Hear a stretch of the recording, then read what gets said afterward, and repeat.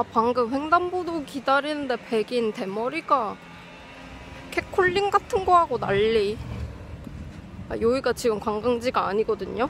그냥 제가 미술관 혼자 가는 거라서.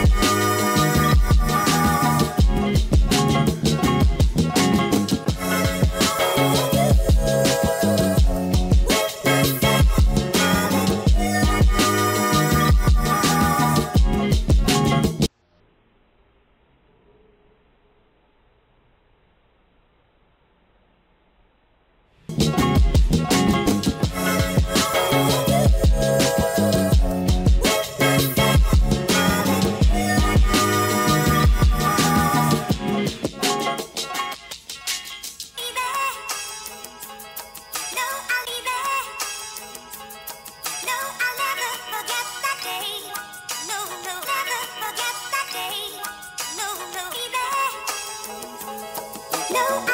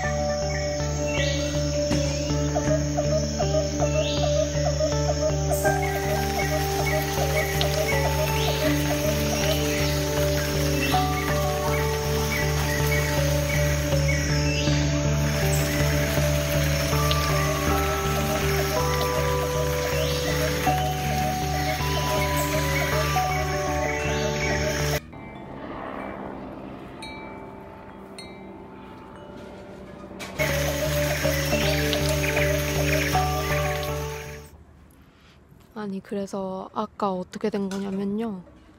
이제 자동차가 너무 빨리 지나가서 그냥 못 봤는데 뭘 자기가 뭘 잘했다고 제가 이제 지 얼굴 못 보니까 차, 자동차 창문 사이로 이렇게 하고 보고 있는 거예요. 그래서 그 숙소에서 미술관까지 걸어서 50분 거리여서 천천히 산책하면서 갈라 했는데 걔 때문에 무서워서 도망치다시피 30분 만에 뛰어서 왔어.